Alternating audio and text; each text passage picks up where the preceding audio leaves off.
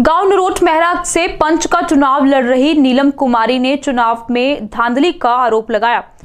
उन्होंने कहा कि उनके विरोधी उम्मीदवार से ना तो मोबाइल लिया गया लेकिन उनका मोबाइल स्विच ऑफ़ करवाकर ले लिया गया और पोलिंग एजेंट को बाहर भेज दिया गया। उन्होंने प्रशासन से इंसाफ की मांग की है।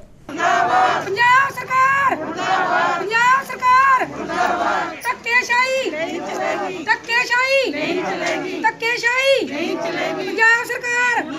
ਪੰਜਾਬ ਸਰਕਾਰ। ਮੈਂ ਨਰੋੜ ਮਹਿਰਾ ਦੀ ਰਹਿਣ ਵਾਲੀ ਇੱਕ ਸਧਾਰਨ ਜੀ ਔਰਤ ਹਾਂ। ਮੈਂ ਅ, ਵਾਰਡ ਨੰਬਰ 4 ਦੇ ਵਿੱਚ ਖੜੋਣ ਦੀ ਹਿੰਮਤ ਕੀਤੀ ਪੈਂਚੀ ਦਾ ਇਲੈਕਸ਼ਨ ਲੜਨ ਵਾਸਤੇ। ਜਦੋਂ ਪੋਲਿੰਗ ਸ਼ੁਰੂ ਹੋਈ ਆ ਜਿਹੜਾ ਮੇਰਾ ਪੋਲਿੰਗ ਏਜੰਟ ਅੰਦਰ ਬਿਠਾਇਆ ਸੀ ਉਹਨੂੰ ਉਹਨਾਂ ਨੇ ਕੀ ਕੀਤਾ ਕਿ ਬਾਹਰ ਭੇਜ ਦਿੱਤਾ ਜਦੋਂ VOTING ਸ਼ੁਰੂ ਹੋ ਗਈ ਹੈ ਰਸ਼ ਪੈ ਗਿਆ। ਇਹਨੂੰ ਬਾਹਰ ਭੇਜ ਦਿੱਤਾ ਕਿ ਜਾ ਕੇ ਨਾ ਤੇ ਉਹ ਲੈ ਕੇ ਆ ਹੀਟਰ ਲੈ ਕੇ ਆ। ਉਹ ਬਾਹਰ ਆ ਗਿਆ, ਪਿੱਛੋਂ ਉਹਨਾਂ ਨੇ ਜੈਲੀ ਵੋਟਾਂ ਪਾਈਆਂ। ਅੰਦਰ ਪੈਸਾ ਵੀ ਚਲਿਆ, ਜਿਹੜੇ ਮੁਲਾਜ਼ਮ ਬੰਦੇ ਸੀ, ਉਹਨਾਂ ਨੇ ਮੇਰਾ ਜਿਹੜਾ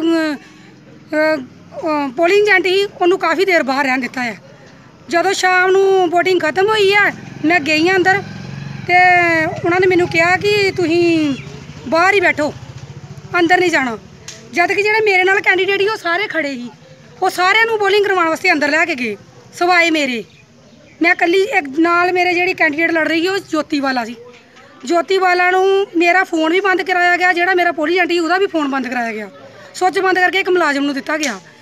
ਤੇ ਜਿਹੜਾ, ਜਿਹੜੀ ਮੇਰੀ ਕੈਂਡੀਡੇਟ ਦਾ ਪੋਲੀ ਏਜੰਟ ਸੀ, ਉਹਦੇ ਕੋਲ ਵੀ ਅੰਦਰ ਫੋਨ ਸੀ।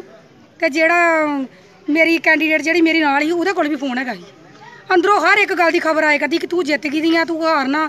ਉਹਨੂੰ ਪਹਿਲੇ ਹੀ ਦੋ ਤਿੰਨ ਘੰਟੇ ਪਹਿਲੇ ਹੀ ਦੱਸ ਦਿੱਤਾ ਦਾ ਕਿ ਤੈਨੂੰ ਨਾ ਘਬਰਾਉਣ ਦੀ ਲੋੜ ਨਹੀਂ ਤੂੰ ਫੁੱਲ ਫਲ ਲੈ ਕੇ ਆ ਜਾ। ਜਦ ਕਿ ਡੱਬੇ ਅਜੇ ਖੁੱਲੇ ਦੇ ਹੀ ਨਹੀਂ। ਜਦੋਂ ਡੱਬੇ ਖੁੱਲੇ ਦੇ ਨਹੀਂ ਉਸ ਉਹਨੂੰ ਕਿਸ ਤਰ੍ਹਾਂ ਪਤਾ ਲੱਗਿਆ ਕਿ ਤੂੰ ਜਿੱਤੀ ਦੀ ਹੈਗੀ ਆ? ਮੈਨੂੰ ਨਹੀਂ ਪਤਾ ਕਿ ਮੁਲਾਜ਼ਮਾਂ ਨੇ ਅੰਦਰ ਕੀ ਕੀਤਾ ਜਾਂ ਪੋਲੀ ਏਜੰਟਾਂ ਨੇ ਕੀ ਕੀਤਾ ਹੈ।